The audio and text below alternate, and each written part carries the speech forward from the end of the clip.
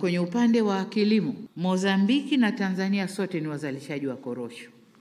Tunazalisha korosho za kutosha, lakini kama mnavyojua kwamba si, si, si, si wapangaji wa bei za korosho kule ulimwenguni, lakini angalau tunajaribu kupanga bei za korosho hapa ndani, na ndio maana tunakwenda na njia tofauti ambazo za kuwafanya watu wanaonunua korosho ndani angalau basi bei itononoke kidogo, kama mnavyosikia hapa na leo. Kwa hiyo tumekubaliana kuunda umoja, na mnakumbuka alipokuja rais wa Guinea Bissau uh, Mheshimiwa Embalo nilimuuzia wazo hili na yeye amekubaliana.